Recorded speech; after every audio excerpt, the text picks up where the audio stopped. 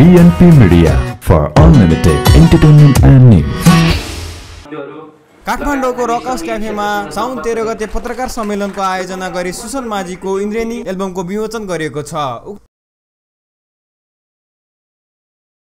उक्त कार्यक्रममा प्रमुख अतिथिको रूपमा साहित्यकार तथा गीतकार कृष्ण हरि बरालको उपस्थिति रहेको थियो। साथमा विशेष अतिथिको रूपमा वरिष्ठ गायिका सङ्गीता राणाको उपस्थिति रहेको थियो। कार्यक्रममा बोल्दै प्रमुख अतिथि कृष्ण हरि बरालले गीत सङ्गीतको बारेमा यस्तो मन्तव्य व्यक्त गरेका थिए।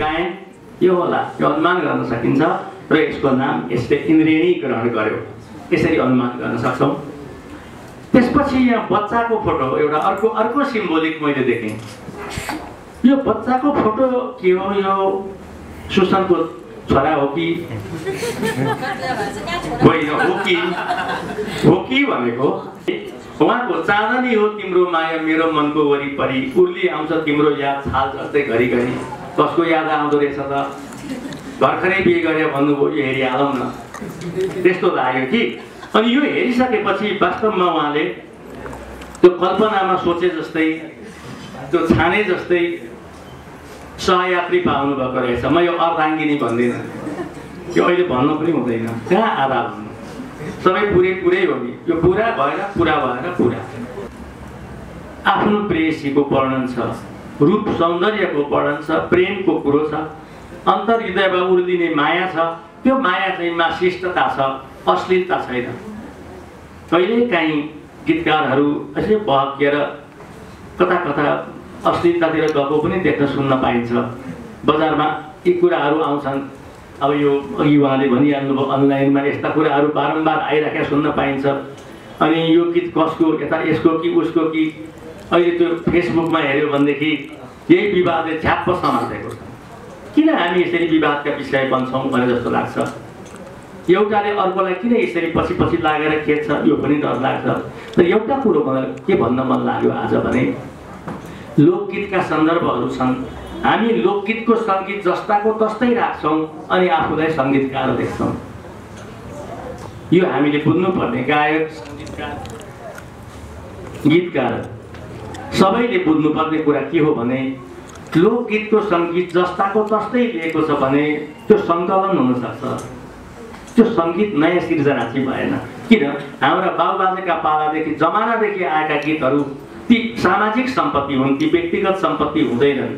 या मैले गाए पनि मेरो सम्पत्ति हुँदैन अर्कोले फेरि गाउन सक्छ। किनभने लोकगीत भनेको लोकको गीत हो। त्यस्तै त्यसका शब्दहरू छन्। त्यो शब्दहरू पनि त्यो लोकको सम्पत्ति हो त्यसमा कपिराइट हुँदैन त्यसमा अथरसिप हुँदैन। साथमा विशेष अतिथि वरिष्ठ गायिका सङ्गीता राणाले आफ्नो मन्तव्य यसरी व्यक्त गर्नुभएको थियो। राम्रो राम्रो सङ्गीतकारले सङ्गीतबद्ध गर्नुभएको रहेछ। र यी सङ्गीतहरूले र गायक गायिकाले गाएको गीतहरू तपाईँको उच्च शिखरमा पुगोस्। मेरो हार्दिक शुभकामना छ र तपाईँले उत्तर उत्तर अझै राम्रो राम्रो गीत लेखेर अझै राम्रो राम्रो कलाकारहरूलाई चाहिँ तपाईँले गाउने मौका दिनुहोस्। यो मेरो हृदयदेखिको तपाईँलाई शुभकामना छ र सम्पूर्ण यस एल्बममा जति पनि हुनुहुन्छ ती कलाकारहरूलाई पनि बधाई दिन चाहन्छु। यति भन्दै म आफ्नो यो मन्तव्य टुङ्गाउँछु। थ्याङ्क यू सो मच आफूले लेखेको गीतको बारेमा सुसन माझीले आफ्नो धारणा यसरी व्यक्त गरेका थिए।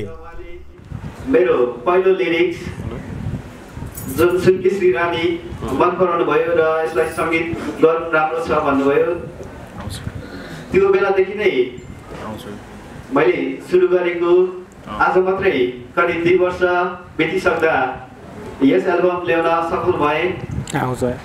म धेरै नै खुसी भइरहेको छु मलाई धेरै बोल्न आउँदैन म लेख्न चाहिँ अलिअलि जान्दछु बोल्न भनेपछि